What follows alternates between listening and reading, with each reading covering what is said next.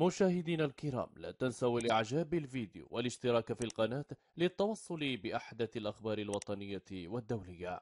تزامنا مع مشاركة رئيس الجامعة الملكية المغربية لكرة القدم السيد فوزي لقجع بالعاصمة التايلاندية بانكوك في اجتماع مجلس الفيفا والجمعية العامة للاتحاد الدولي لكرة القدم.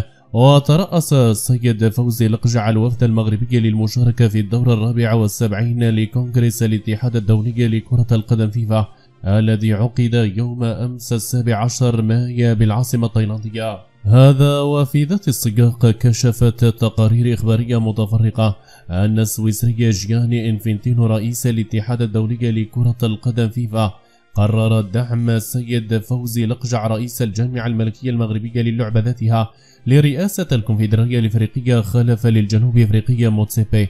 وذكرت تقارير صحفية قارية أن إنفنتينو يرى في القجعة الشخص القادر على الانتقال بالقارة الإفريقية إلى مستوى آخر أكثر تطورا كما فعل في الجامعة الملكية المغربية.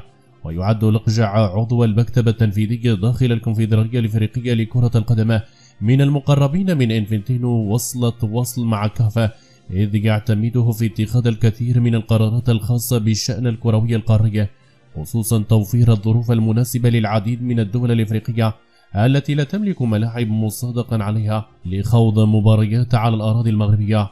وأعلن رئيس الجامعة الملكية المغربية لكرة القدم وعضو المكتب التنفيذي للكونفدرالية الإفريقية باسم الاتحادات الإفريقية للعبة عن دعم كافة رسميا ترشيح رئيس الاتحاد الدولي لكرة القدم فيفا السويسرية جياني إنفنتينو في الانتخابات السابقة لفيفا. وتنتهي ولاية الجنوب إفريقية موتسيبي على رأس الكونفدرالية الإفريقية لكرة القدم خلال الجمع العام المقبل وما زال لم يعبر أي عضو داخل كافة عن نيته الترشح لهذا المنصب.